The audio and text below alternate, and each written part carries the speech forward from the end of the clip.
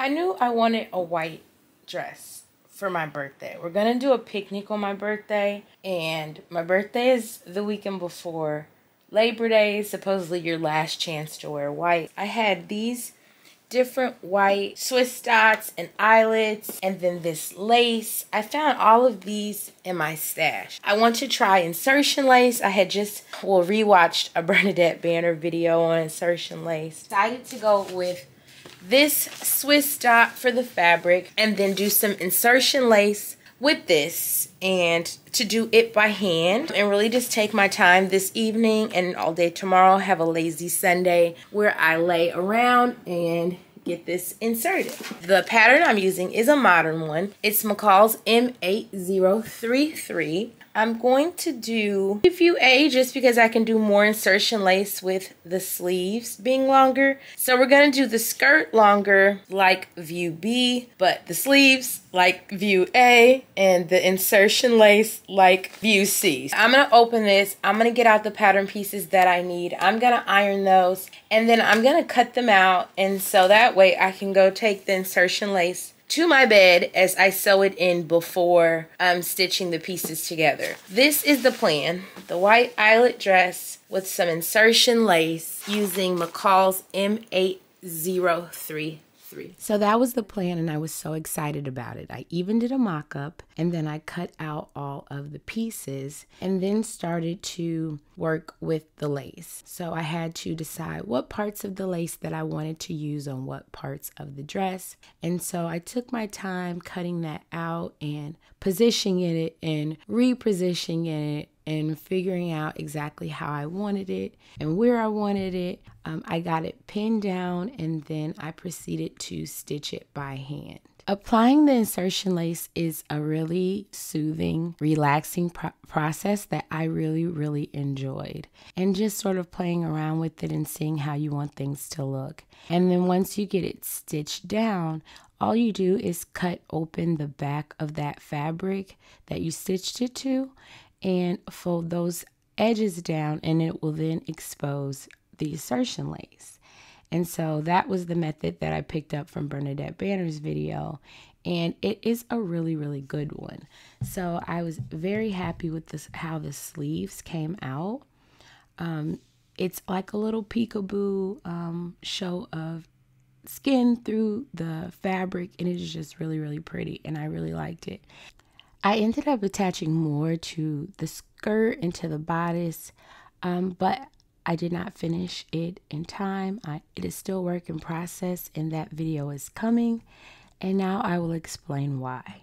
So, Major and I's birthdays are one week apart. Because her birthday fell on a weekday, we decided to do her party with her class. And so I had to get 12 of all of the things prepared. That took priority. Everything came out super cute though. She's obsessed with Peppa Pig, so everything was Peppa Pig. We got her a cute little outfit to wear that day to school and balloons. We got Happy Meals for the entire class. And when I got home that night, we finally did presents. I've been out of the house a lot more lately as I am working with the ALS Association. And so it's been a little hectic.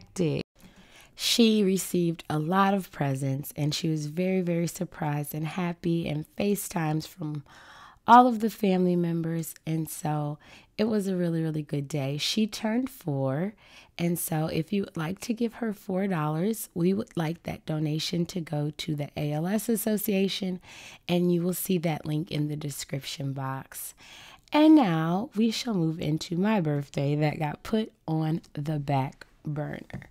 Or at least so I thought. My dress got put on the back burner, but not my birthday. It started with a 30 minute drive to a beautiful park where we had such a beautiful picnic set up. When I told my husband I wanted to have a picnic for my birthday, this is definitely not what I thought he would come up with, but it was absolutely gorgeous.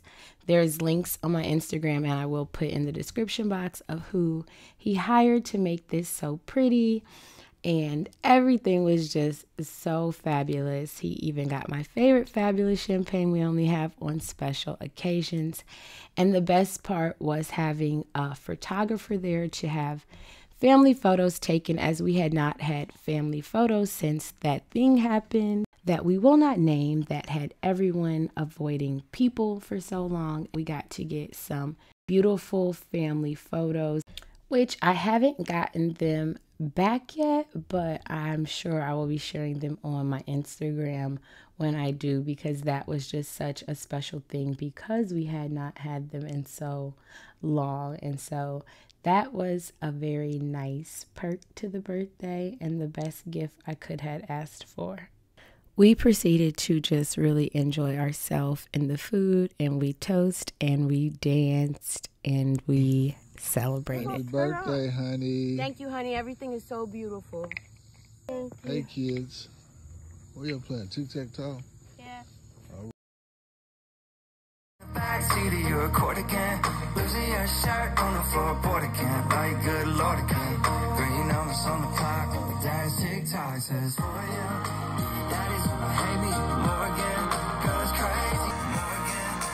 At this point, my family is just is obsessed with Walker Hayes as we are with each other, and so we danced and twirled and rolled in the grass and just really cut loose. I don't think I've ever had a more special birthday. I really loved that it was just the four of us. And after all of that dancing and grass rolling and singing and my drinking of champagne, it was time for cake. Birthday to you. Happy birthday to you. Happy birthday, dear mommy. Happy birthday to you. Many more. Yay!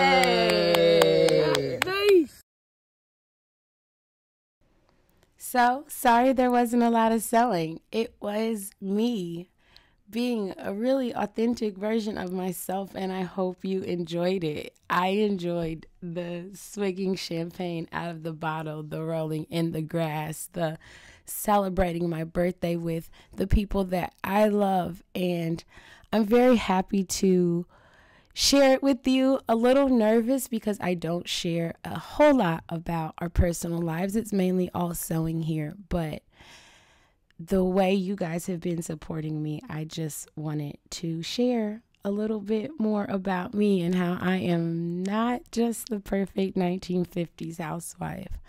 I hope you enjoyed this video. I hope to see you in my next one that is soon and sure to come.